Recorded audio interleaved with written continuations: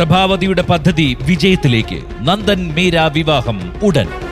അമൃത് Veni hair elixir സുഖമോ ദേവി. ഇന്ന് രാത്രി ഒൻപത് മണിക്ക് ഫ്ലവേഴ്സിൽ.